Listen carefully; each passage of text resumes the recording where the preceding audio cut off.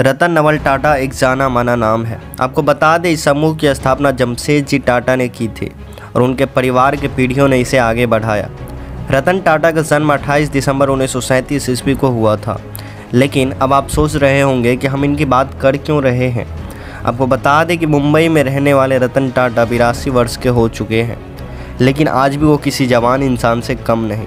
अभी हाल ही में दिए गए इंटरव्यू में उन्होंने बताया कि वो आज के समय में भी प्लेन और हेलीकॉप्टर उड़ाते हैं। साठ के दशक के कारों को इकट्ठा करना और उनके बारे में जानकारी हासिल करना उन्हें आज भी बहुत पसंद है।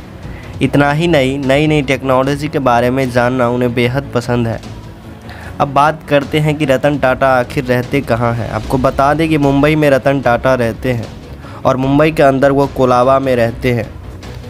और भगत पार्क नामक जगह पर उनका घर है। ये बताया जाता है कि उनका घर सी फेसिंग है, जहाँ से समुद्र की लहरें, की ठंडी हवा उनके घर तक आती है। रतन टाटा को शांति प्रिय इलाकों में रहना बेहद पसंद है, और ये बताया जाता है कि वो हमेशा ही कुछ नया करने की कोशिश करते रहते हैं।